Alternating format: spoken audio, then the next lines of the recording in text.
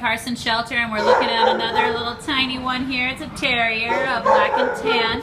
Not sure if it's a boy or a girl. I'm on the outside of the cages right now, so I can't get an ID card, but uh, they just ran off. They're pretty excited, so we'll get that for you.